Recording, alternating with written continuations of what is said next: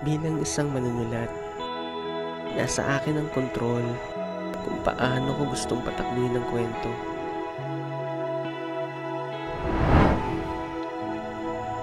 Masakit, malungkot, kasawian, depende sa karanasan, depende sa kasalukuyang nararamdaman.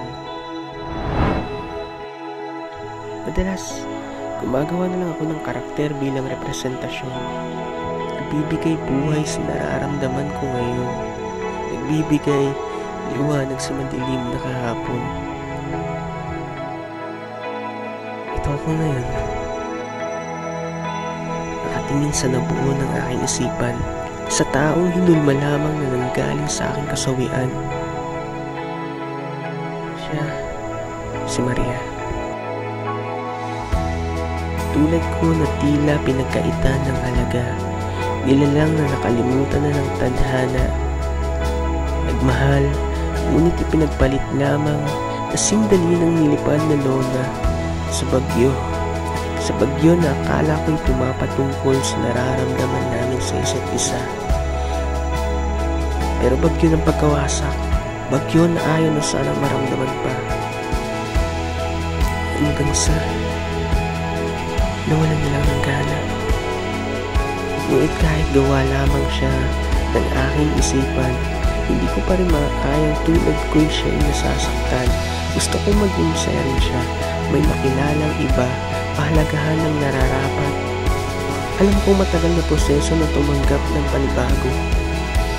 Pero hayaang mabuo ang panibagong kwento. Nagsisilbing panyo at hindi dahilan ng pagluha niya. Kahit siya lang kahit siya lang sana, isang tauhang gawa lamang ng aking isipan ay maging masaya.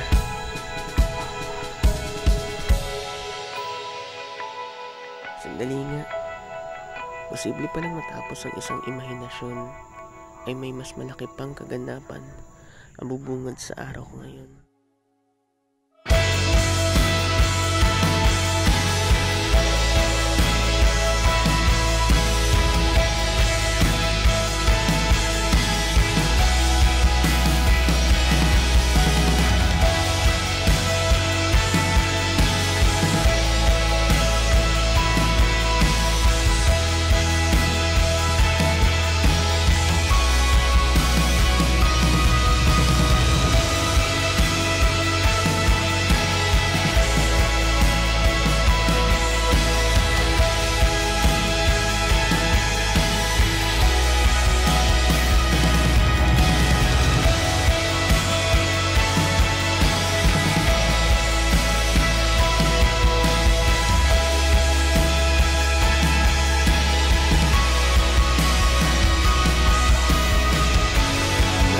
Pagod din palang umupo.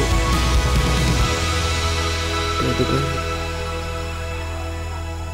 Pwede bang tayo na lang?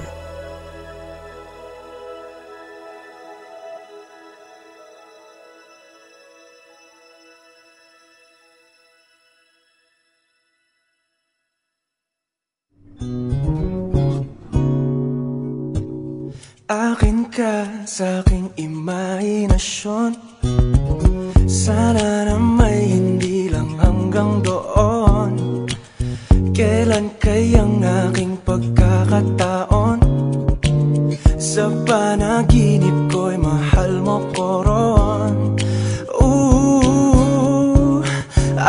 gonna